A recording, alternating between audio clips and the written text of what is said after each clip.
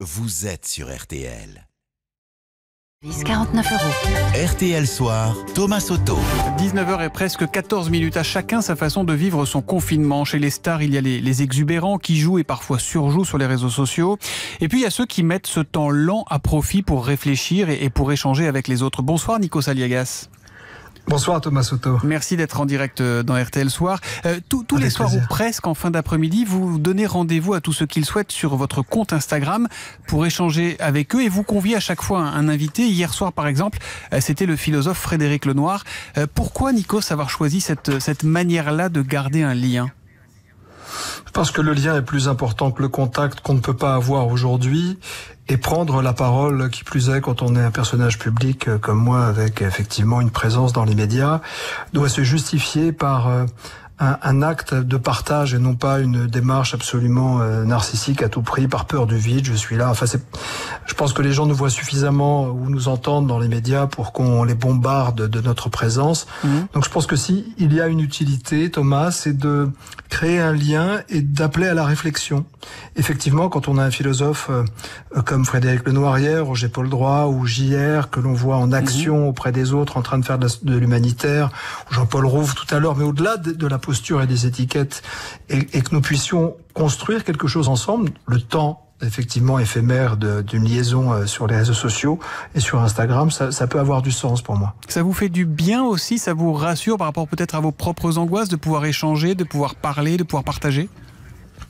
D'une certaine façon, ça, ça confirme euh, dans le confinement que nous partageons tous, euh, d'une manière ou d'une autre, euh, notre besoin d'être avec les autres, certainement.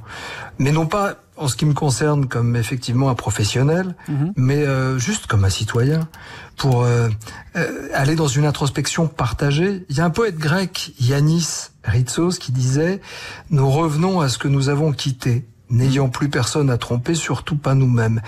Et au lieu d'être dans un miroir narcissique à travers les réseaux sociaux euh, et dans une posture du content d'être content, on peut être dans quelque chose euh, où on se retrouve, on se reconnaît et, et surtout on se, on se connecte réellement et non pas uniquement avec des likes, j'aime ou j'aime pas. Hmm. On a l'impression quand, quand on regarde vos comptes Twitter, Instagram, etc., que, que l'homme de télé s'est un peu effacé devant le photographe que vous êtes aussi, vous qui photographiez précisément le temps qui passe, et ça fait longtemps que vous le photographiez ce temps qui passe. Là, on est dans un espace-temps très particulier en ce moment. On est dans un espace-temps, dans une sorte de confinement où le temps passe de toute manière très vite, euh, parce que ce n'est pas le temps qui fuit, même dans nos vies euh, chronophages, hein, quand on était à l'extérieur, mais c'est nous qui le fuyons vraisemblablement. Donc il faut revenir à l'essentiel, il faut que le temps soit à la fois réflexion et introspection, et, euh, et silence. C'est-à-dire que même profiter du silence qu'on peut avoir quand on voit ses enfants qui dorment ou euh, quand on regarde les gens et le peu que je sors pour aller faire trois courses, on, nous, on s'évite. On change de trottoir. Certains ont des masques ou des gants. On- donc finalement, il faut il faut reconsidérer euh, sans faire de grandes réflexions philosophiques.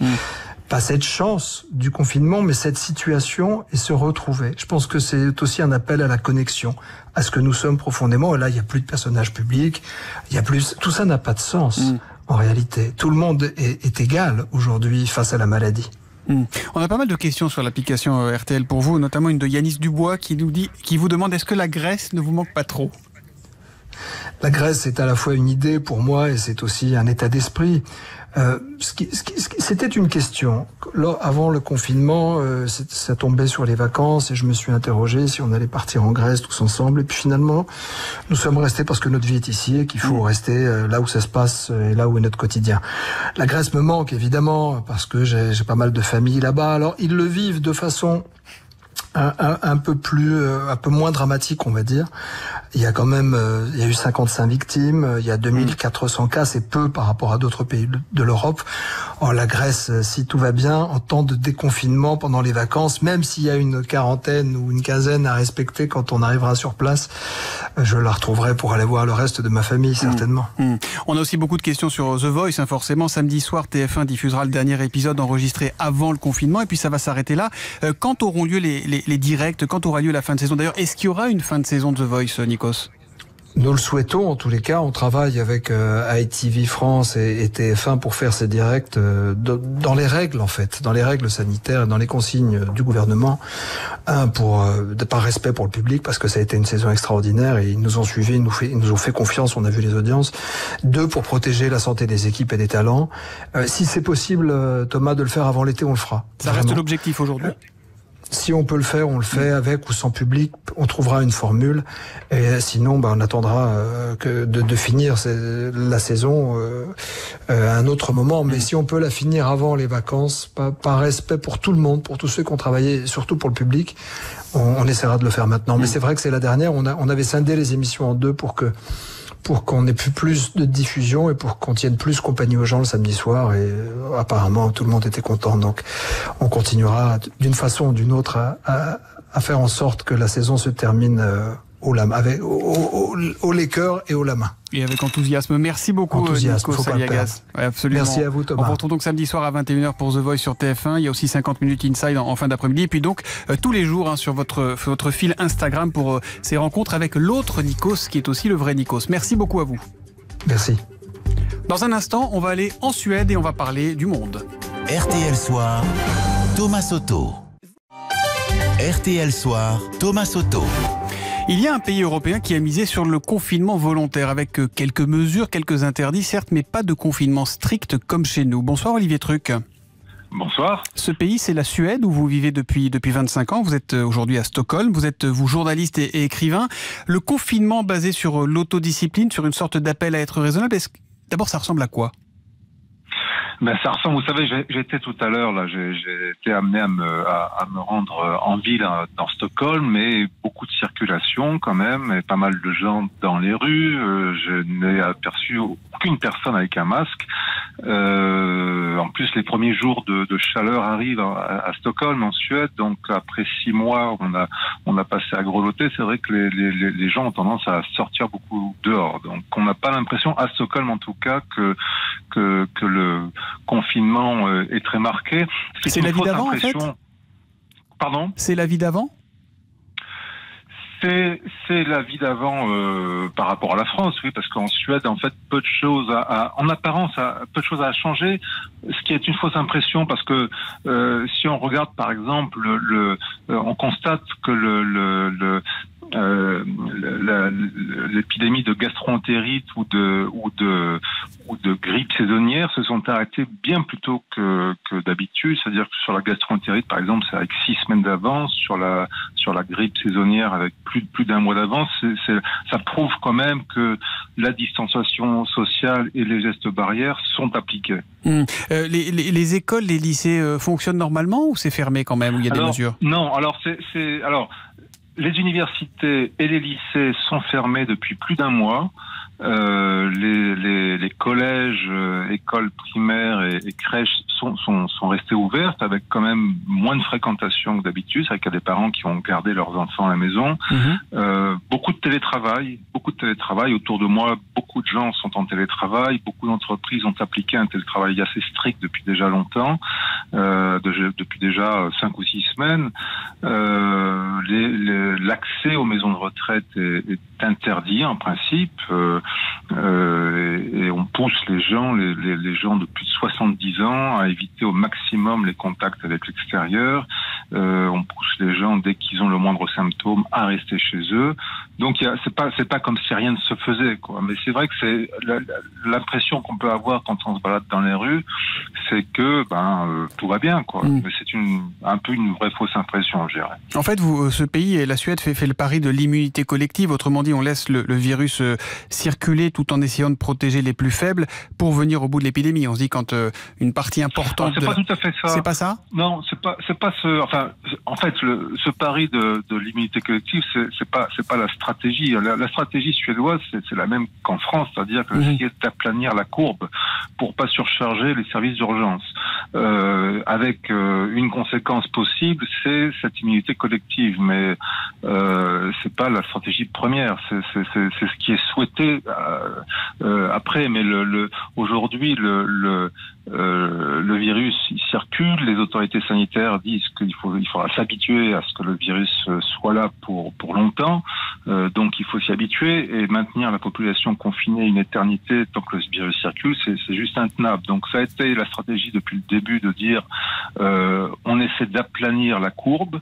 Euh, ils ont plutôt pas mal réussi puisqu'ils considèrent, il y a eu encore une conférence de presse tout à l'heure là de la des autorités sanitaires suédoises qui considèrent qu'à peu près un tiers, ils estiment qu'un tiers de la population de Stockholm serait euh, contaminé vers la mi-mai, euh, à la mi-mai, et que le pic épidémique euh, sur Stockholm toujours aurait été atteint autour du 15 avril, donc il y a une semaine.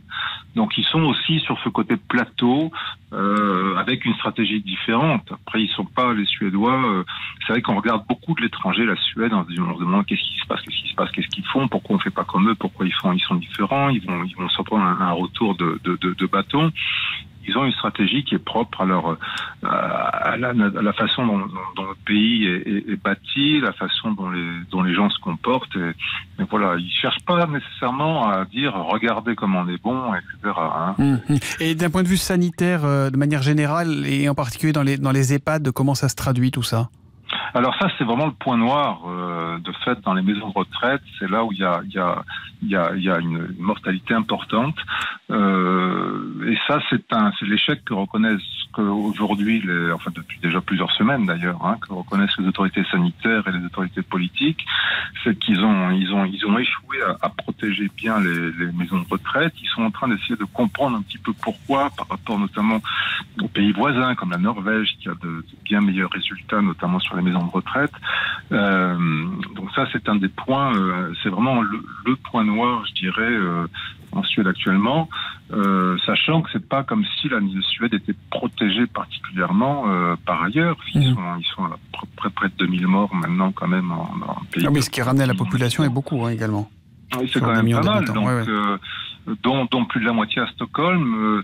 Euh, euh, alors Stockholm maintenant, ça paraît euh, à peu près maîtrisé. Il faut voir que les, les, les, les services de, de réanimation et soins intensifs sont, sont, sont, toujours très, c'est toujours très tendu à Stockholm. Hein, c'est toujours euh, très tendu, mais ils n'ont jamais été euh, débordés. Alors ils ont, ils ont fait comme en France, ils ont, ils ont repoussé les murs, tout ça, mais ils ont l'impression qu'on a, n'étant pas au, dans, dans le cœur de le cœur de l'action, c'est en tout cas c'est qu'ils ont réussi à, à, à, à contenir le, le, le, le, le pic de le, pic d'entrée en, en, réanimation. Merci beaucoup Olivier Truc pour ce témoignage qui, qui met une distance effectivement entre l'image qu'on peut avoir de la situation en Suède et, et, la réalité sur le terrain. Merci infiniment d'avoir été euh, en direct dans Merci, RTL Soir. RTL Soir, Thomas Soto. Demain soir, ce sera le début du, ramadan pour une grande partie des, des, musulmans dans le monde entier. 1 milliard 800 millions de pratiquants appelés à honorer un des cinq piliers de l'islam. Mais pour beaucoup, ce sera un ramadan confiné. Bonsoir Catherine Boulet.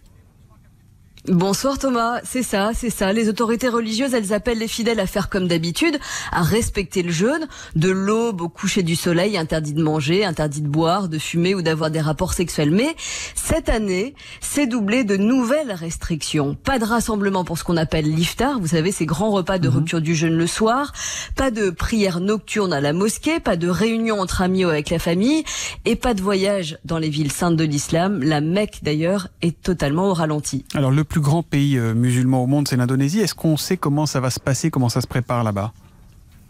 Alors là-bas, le gouvernement a interdit le traditionnel mudik. C'est le fait, surtout pour les citadins, de rentrer chez soi dans son village de famille à la fin du mois de Ramadan. L'an dernier, imaginez, on a compté à cette occasion 19 500 000 personnes sur les routes, rien que sur l'île de Java. Inenvisageable cette année, ont annoncé les autorités sanitaires, parce qu'elles redoutent eh bien un million d'infections supplémentaires d'ici juillet si c'était autorisé. Or, jusqu'ici, le pays il a été relativement épargné avec 600 décès depuis le début de l'épidémie. Donc le risque ne sera pas couru cette année. Donc les autorités interdisent, sauf que si on y regarde de plus près, il y a quand même pas mal de dérogations, hein, semble-t-il. Exactement, exactement. D'abord, bah, dans certains pays, on va avoir le droit de veiller tard, entre amis, en famille, au Liban, au Maroc, en Tunisie, en Égypte par exemple. Quant aux Syriens, eux, ils vont avoir pendant deux jours, le droit de passer d'une province à l'autre pour retrouver leur famille. Mmh. Et puis tout à l'heure, en Arabie Saoudite, le roi Salman, il a fini par autoriser la prière de Tarawi, la prière du soir, dans deux mosquées à la Mecque et à Médine. Enfin, je vous, disais, je vous disais tout à l'heure que la plupart des autorités religieuses appelaient au confinement, mais c'est loin d'être le cas partout. Au Pakistan, mais aussi au Maroc, vous avez plusieurs imams très véhéments qui ont refusé tout simplement l'instauration d'un quelconque quota de fidèles dans les mosquées. Et ça, c'est le cas de façon encore plus virulente au Bangladesh où, il y a quelques jours, eh bien, 100 000 fidèles se seront rassemblés pour les obsèques d'un imam renommé. 100 000 fidèles sans respecter aucune distanciation sociale. Merci Catherine Parieur. Vous avez parcouru euh, pour nous les, les médias internationaux. Qu'est-ce qui a retenu votre attention ce soir? Alors une info CNN qui nous raconte qu'après deux mois de confinement, voilà que les Chinois sont encouragés à faire exactement le contraire, c'est-à-dire à voyager à l'intérieur du pays. Les compagnies d'aviation cassent donc les prix. Vous trouvez là-bas des billets à 10 euros pour des vols intérieurs. Les Chinois, ils appellent ça maintenant le bok choy price, traduction le prix du panier de légumes. Et puis plus sérieux, je vous signale la une de Haaretz en Israël qui dénonce la coalition Netanyahou-Gantz pour diriger le pays, complètement déconnecté de la société, se désole le journal. Les deux ennemis d'hier qui se retrouvent euh, à devoir gouverner ensemble, en tout cas former un gouvernement. Merci beaucoup Catherine Boulet pour euh, ce regard quotidien sur le monde. Thomas Soto. RTL Soir. Tous les soirs également, dans RTL Soir, vous le savez, on s'intéresse aux fake news liées à ce coronavirus. C'est le journal des fake news avec vous, Jean-Bernard Schmitt. Bonsoir. Bonsoir. Jean-Bernard, cofondateur euh, de Spicy. Euh, ce soir, Jean-Bernard, on va prendre la direction des, des États-Unis où de nombreuses vidéos détournées de leurs propos, voire trafiquées, circulent.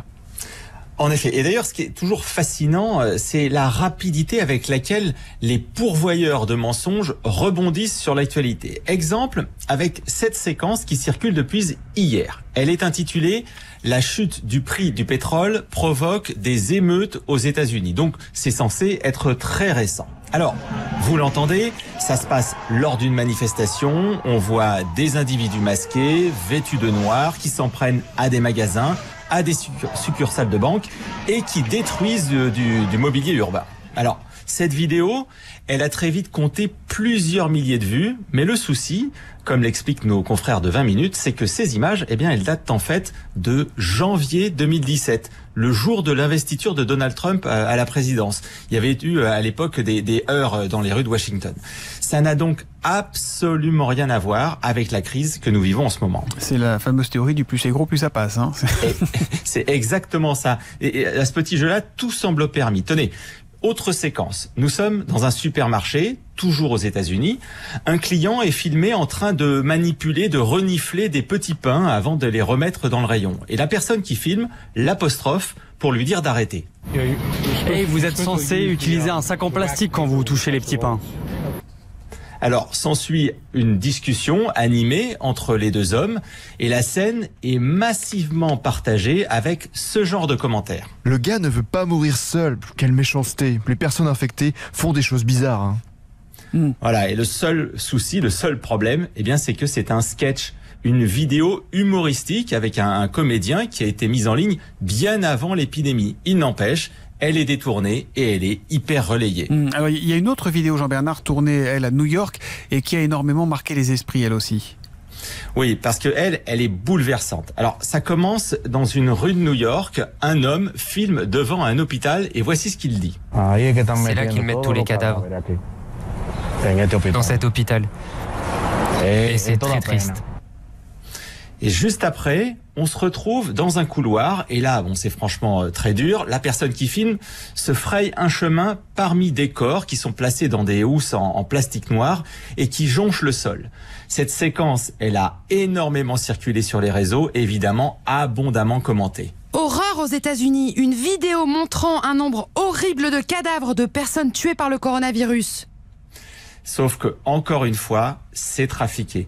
Si le, le, début est bien tourné devant un hôpital new-yorkais, la suite, elle, est un montage avec des images venues d'Équateur. Donc, vous voyez bien tout le, le vice ici. Hein. On surdramatise une situation qui est déjà extrêmement difficile, puisque New York est la ville la plus touchée des États-Unis par le virus. Merci beaucoup, Jean-Bernard Schmitt. N'hésitez pas, hein, si vous avez, vous, des, des vidéos euh, sur lesquelles vous posez des questions, vous nous les envoyez à témoin au pluriel à rtl.fr et, euh, et euh, Jean-Bernard Schmitt se fera un plaisir de les décortiquer compliqué pour vous, Jean-Bernard, euh, qui s'occupe de Spicy. Spicy qui, je vous le rappelle, met tous ses documentaires en ligne gratuitement pendant cette crise. Dans un instant, on refait le monde sur RTL. RTL Soir. Solidarité de la santé. Thomas Soto, on refait le monde jusqu'à 20h sur RTL. On refait le monde avec ce soir Nathalie Saint-Cric, éditorialiste à France Télévisions. Bonsoir Nathalie. Bonsoir Thomas, bonsoir à tous. Avec nous également Maxime Sbailly, économiste et directeur général du think tank Génération Libre. Bonsoir Maxime. Bonsoir Thomas, bonsoir à tous. Et Gérard Miller, psychanalyste et réalisateur. Bonsoir à vous Gérard. Bonsoir. Alors, on est évidemment à distance pour refaire le monde, mais ça ne nous empêche pas de dire ce que nous avons à dire, de, et vous de dire ce que vous avez à dire surtout. Euh, on, on, a l'impression qu'on avance un peu sur euh, le déconfinement. On sait que c'est un casse-tête, hein, évidemment, pour le gouvernement. Mais il y a quelques minutes, Emmanuel Macron a donné quelques indices sur le futur plan de déconfinement. Il a notamment évoqué des mesures plus ou moins rapide selon les secteurs et selon les, les régions. C'était lors de la visite d'un supermarché en Bretagne. Euh, quelle est la bonne idée, à votre avis, pour ce déconfinement? Est-ce que le gouvernement euh, euh, a raison d'y aller comme ça, par petites touches? On a l'impression que ça tâtonne un petit peu. En même temps, c'est pas simple, Nathalie Saint-Cric bah, Ça tâtonne forcément parce qu'on ne sait pas exactement ce qui va se passer, s'il va y avoir une deuxième vague ou pas.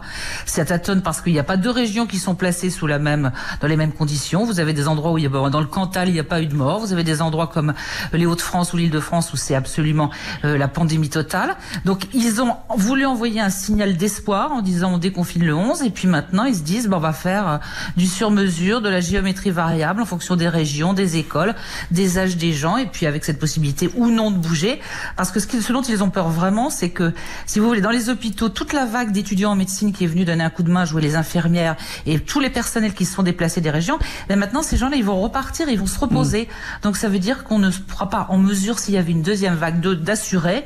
Donc bah, ils tâtonnent et puis c'est vrai qu'ils savent pas très bien où ils vont. Mmh. Gérard Miller. Euh, comme le temps passe, euh, les dernières fois où nous parlions de la réforme des retraites, on était sur cette idée qu'il y aurait peut-être une taille unique, qu'il faudrait quelque chose d'identique pour tous. On voit effectivement à quel point dans cette crise du coronavirus, on était plutôt du côté du cas par cas, ce qui, qui en soi est légitime. Le problème, c'est que le cas par cas aujourd'hui risque d'être quelque chose qui accentue les différences sociales. C'est ça le vrai problème. C'est pas tant les différences géographiques, c'est pas tant les différences d'âge, qui existent bien évidemment, c'est les différences sociales. Et donc la grande crainte que nous avons tous, c'est euh, que cette sortie du confinement accentue ce qui était déjà présent dans le confinement, le fait que tout le monde n'est pas euh, à égalité devant mmh. la maladie, que tout le monde n'est pas à égalité devant l'événement tel qu'il se passe. C'est pour ça que le gouvernement aurait drôlement intérêt à donner des garanties qui permettraient à chacun de se sentir l'égal de l'autre, ce qui n'est pas le cas actuellement. Là, il s'agit de distinction par région, par zone et non pas par euh, catégorie sociale, hein, ou par euh, voilà. On... Ah, c'est ce qu'on nous dit. Au début, c'était des différences par âge. Il euh, y, a, y, a, y, a, y avait aussi cette idée que les enfants des plus défavorisés seraient à l'école plutôt que les autres. Excusez-moi, on a tout à fait eu au départ, et peut-être encore l'a-t-on aujourd'hui, des tas d'autres différences que simplement des différences entre les régions plus ou moins touchées. Donc mmh. c'est et, et, je, ne jetterai pas toutes les pierres à la fois sur le gouvernement, parce que je ne doute pas qu'il est obligé d'avancer à tâtons. Mais la grande question qui se pose à lui, c'est de continuer, si j'ose dire, à maintenir l'unité nationale. Et pour maintenir l'unité nationale, vous ne pouvez pas faire sortir les gens. Ah bon, on a perdu Gérard Miller. Maxime Zbaï, qu'est-ce que vous en pensez? Bah, écoutez, ce, ce, qui est quand même intéressant avec ce virus, c'est qu'effectivement, nous ne sommes pas tous égaux devant le virus. On sait que ce virus, il touche plus les personnes âgées, les personnes obèses, les hommes plus que les femmes. Certaines régions, Nathalie Saint-Cric l'a rappelé, sont pas du tout touchées, alors que d'autres sont très touchées. Et, et donc là, finalement, euh, on peut pas confiner tout le monde sur un pied d'égalité, alors que le virus ne touche pas tout le monde sur un pied d'égalité. Et donc c'est important pour mettre en œuvre ce confinement. Il y a la question du quand, bien sûr, mais il y a aussi la question du comment. Et, là, euh, quelque part, c'est intéressant parce que l'État le, français est confronté à un réflexe qu'il a depuis longtemps, qui est le réflexe jacobin centraliste de vouloir voir la France un, un territoire unifié euh, et de gommer un petit peu les particularités. Là, il va être obligé de faire confiance au territoire, euh, aux collectivités locales, aux maires. Hein, je crois que c'est une des pistes qui est euh, euh envisagée par euh, l'Élysée, c'est de faire confiance aux maires et aux préfets pour laisser au cas par cas et laisser voir comment eux, Alors bien sûr, mettre des recommandations au niveau national, mais ensuite s'assurer qu'il y ait une différenciation territoriale, régionale, puisque, encore une fois, ces régions sont euh, différemment touchées par le virus. Il faut quand même dire que les maires sont les premiers sur le terrain, les directeurs d'école aussi. On peut faire confiance à ces acteurs-là. Ce sont les, les- les premiers élus de la République, ce sont ceux qui sont vraiment sur le front. Eux, ils savent ce qui se passe. Eux, ils peuvent, euh, euh, si vous voulez, ménager la chèvre et le chou et essayer de trouver Enfin, des ils, ont, ils ont quand même, pardon Maxime, mais ils ont quand même besoin d'avoir euh, une, une grille de lecture et une feuille de route euh, assez claire. Les maires, ils vont appliquer Alors, les règles qu'on va leur. va Ça n'empêche pas l'autre. L'un n'empêche pas l'autre. On peut très bien avoir des recommandations au niveau national. C'est ce que fait par exemple l'Allemagne ou les États-Unis, si vous regardez ce qui se passe.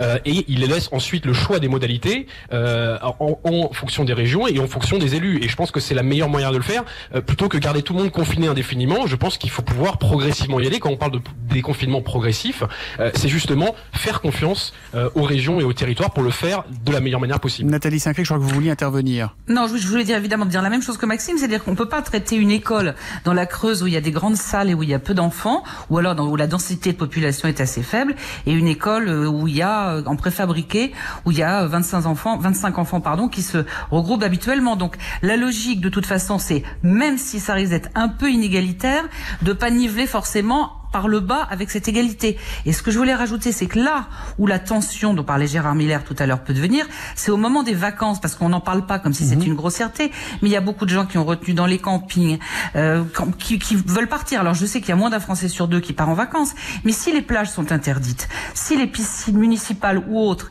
dans les campings ne peuvent pas être fréquentées par les enfants, certains auront la pression que personnes peuvent partir en week-end quand ils ont de la famille avec une maison.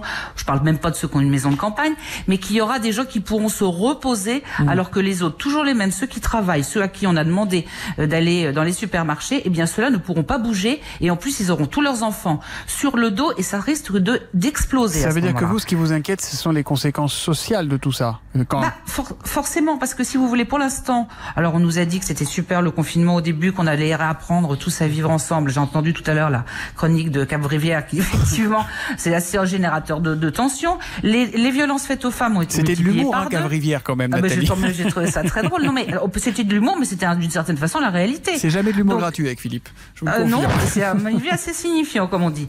Donc, si vous voulez, si vous avez déjà les personnes dans les EHPAD qui ont l'impression d'être abandonnées, même si elles ont le droit d'avoir quelques visites, si vous avez des gens qui ne peuvent pas aller revoir leurs parents ou leurs grands-parents, et que un certain nombre de privilégiés donnent l'impression, eux, de pouvoir profiter un peu des vacances, je pense que ça, effectivement, la, la société ne, ne peut pas tenir comme ça. Mais Nathalie, est-ce que vous me permettrez qu'on de a dire retrouvé. que est-ce que vous me permettrez de dire que, que, que ce n'est pas seulement donner l'impression d'eux, c'est-à-dire que ce que cette histoire a révélé, c'est effectivement les fractures sociales qui, pour un certain nombre de gens, n'étaient pas extrêmement préoccupantes. Donc ces fractures sociales, elles n'ont pas disparu, elles ont été mises en évidence par le confinement et sans doute sont-elles un peu plus insupportables après le confinement qu'avant. Mais tout ce que vous êtes en train de dire sur les vacances que les uns prennent et pas les autres, sur le fait que certains ont la chance euh, d'avoir euh, des, des avantages sociaux, des, euh, plus d'argent, tout ça c'était déjà présent. Simplement, c'est un révélateur ce confinement. Mais c'est exactement ce que je viens de dire. Mais la croissance a Voilà. disparu. C'est c'est pour ça que c'est révélé. Donc, donc, de toute façon, ça sera présent et, et, et on se demande comment le gouvernement pourrait un tant soit peu atténuer tout ça. Il pourrait peut-être l'atténuer en donnant un certain nombre de d'avantages euh, au moins que rien, d'avantages euh, aux enfants plus défavorisés, mais en tout cas, Mais c'est ce qui est prévu avec une mise en place d'une certaine forme de colonie de vacances en mois de juillet ou de, de centres aérés de- afin que les enfants puissent en juillet s'aérer un petit peu et pas rester confinés chez eux. Je vous dis pas que c'est génial. Je pense simplement que c'est que c'est ça l'inquiétude à court terme. C'est-à-dire que euh, après avoir vécu tout ce confinement, si on a l'impression, mais c'est même pas l'impression. Vous dites que c'est la réalité. Si la réalité c'est qu'il y a des, des choses à deux vitesses, ça risque effectivement de ne pas tenir. Et de façon Veil. totalement compréhensible. Oui, juste pour répondre à, à Gérard Miller, le, le- le meilleur moyen justement de, de revenir sur ces inégalités, sur ces tensions sociales, c'est déjà que la croissance revienne. Euh, c'est très important. On avait tout un discours avant la crise qui nous disait que la croissance était inutile, que ça servait à rien. On voit aujourd'hui quand la croissance se retire, c'est maintenant que ça craque et que on voit on voit les dégâts. Donc euh, il faut absolument que cette croissance revienne. Et euh, sur la question des Mais vacances, qui va pardon, être très mais difficile. Maxime, la, la croissance, là, c'est c'est très gentil, mais c'est une liste au Père Noël. On, on est sur une projection de moins 8 ou moins 10%. Alors effectivement, donc c'est pour ça que le, le, timing des vacances va être intéressant aussi de voir à ce niveau-là, c'est-à-dire quand est-ce que l'économie française va pouvoir reprendre? Et il y a une question très épineuse euh, à laquelle moi je n'ai pas euh, la réponse de, de, de, qui va se poser au niveau de ces vacances, c'est qu'on a l'habitude en juillet, en août, c'est une tradition française de partir longuement, plus longuement que dans d'autres pays pour aller en vacances. Euh, moi, moi, je comprends tout à fait et je suis le, le premier à le dire que les gens auront besoin d'aller prendre l'air, auront besoin d'aller d'aller voir un autre horizon que celui de leur fenêtre ou de leur jardin.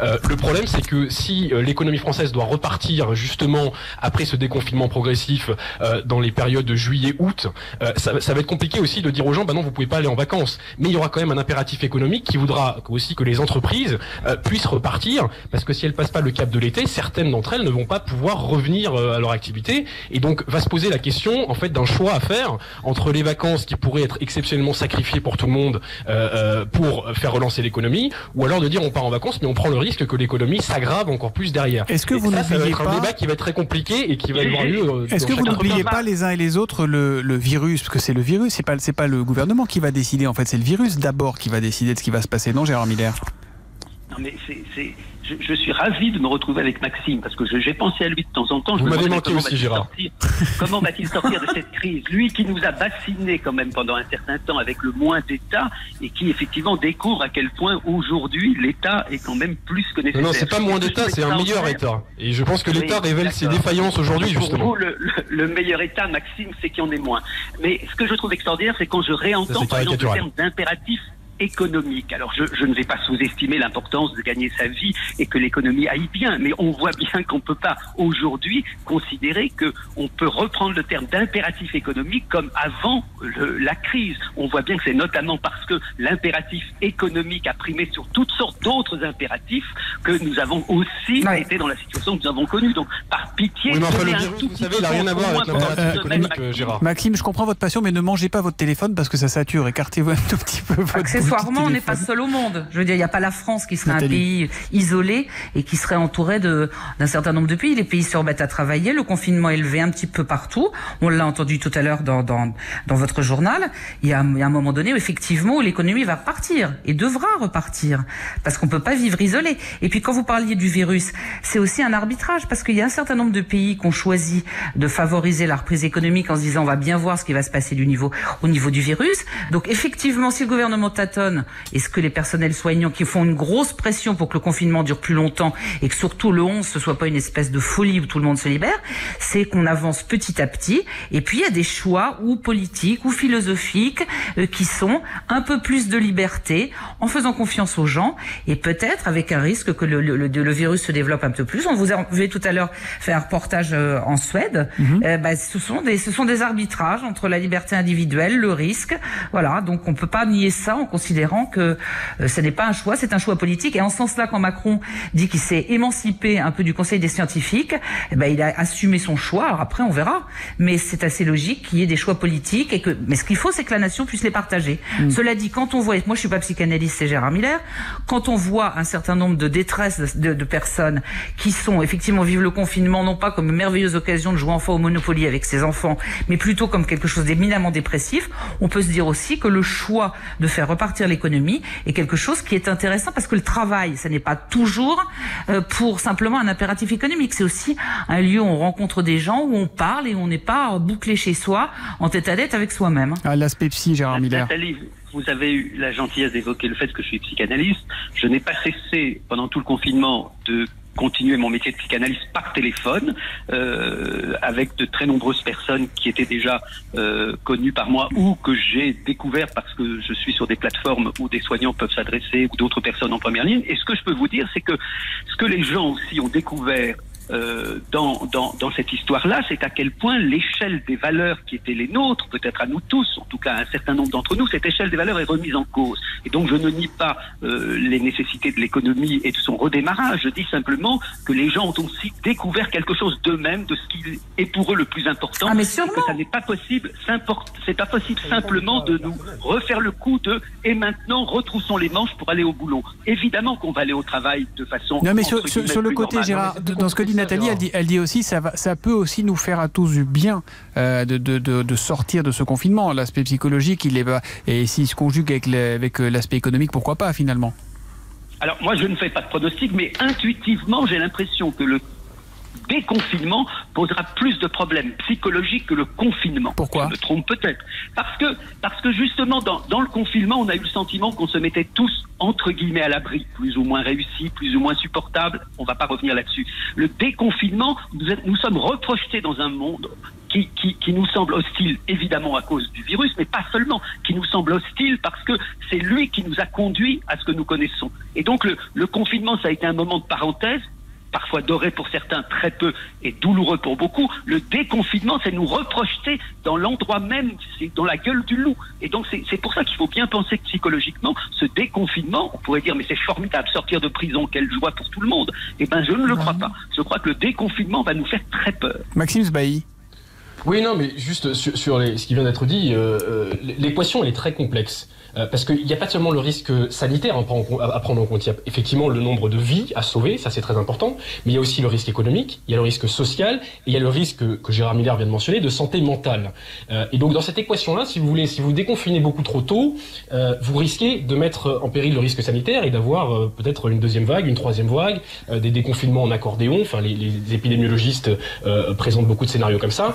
Si à l'inverse vous confinez vous confinez beaucoup trop longtemps, vous prenez le risque sur la santé mentale et sur l'économie. Donc c'est pas une question d'économie contre les vies, ça c'est très caricatural et, et, et ça ne m'étonne pas de, Gérard Miller euh, sur cet aspect-là. Euh, mais il, faut, être beaucoup plus, je pense, nuancé là-dedans et essayer de voir effectivement, comme le disait Nathalie Saint-Cric, que euh, les gens, le, travail n'est pas une servitude. Ça peut être aussi justement, les gens ont besoin de revoir leurs collègues, ont besoin de retrouver leur bureau, ont besoin aussi de se remettre au travail pour se redonner aussi un sens et pour retrouver aussi une raison de vivre et euh, une certaine forme de bien-être. Donc c'est tout ça qu'il faut prendre en compte et c'est pour ça que c'est très très compliqué. Il y a beaucoup d'inconnus dans cette euh, dans cette équation et c'est pour ça qu'il y a très peu de place aux certitudes et il y a beaucoup de place justement à euh, tâtonner et à essayer de faire ça progressivement. C'est vraiment ça le débat et, et- et je pense qu'il faut sortir. On est la période est trop compliquée et trop grave pour tomber dans les caricatures. Et d'ailleurs, euh, le gouvernement envisage, sans le dire véritablement, de faire éventuellement un stop and go. C'est-à-dire que si les choses se passent mal, si la deuxième vague arrive, si on est de nouveau confronté à des épouvantes, ils envisagent de pouvoir éventuellement, ou du On moins c'est ce qu'ils laissent entendre, Ouais. de reconfiner un petit peu dans certains endroits, même temporairement. De toute façon, ils peuvent pas envoyer un message aux Français qui est de dire euh, tout s'arrête. Donc il y a quand même cette épée de Damoclès en permanence, et ça sera au nom du pragmatisme. Donc de toute façon, on n'a pas tellement le choix. hein. Mm. On n'a pas de masques en quantité suffisante, on ne peut pas faire ce que font un certain nombre de pays, donc on est obligé de se lancer et puis de voir éventuellement s'il faut pas freiner par moment. Hum, Nathalie Saint-Cric, vous avez, vous avez la parole. Je voudrais qu'on on se dise quelques mots d'une étude qui vous a bouleversé, je crois. hein. Pendant le confinement, seulement deux Français sur trois procèdent quotidiennement à une toilette complète. En clair, il y en a un sur trois qui ne lave pas tous les jours. Mm. Euh, vous vous sentez concerné? Pourquoi ça vous a touché à ce point-là? Bah, mais pas du tout. Je suis me content que vous soyez au téléphone, hein, non, mais je, je, conseille- je vous remercie. Je signale que c'est les hommes qui se tiennent moins bien que les femmes dans ce C'est genre vrai, de. comme Nous, on se contente de pas mettre de soutien-gorge de temps en temps, qui, comme je suis au téléphone, ne vous dérange pas directement.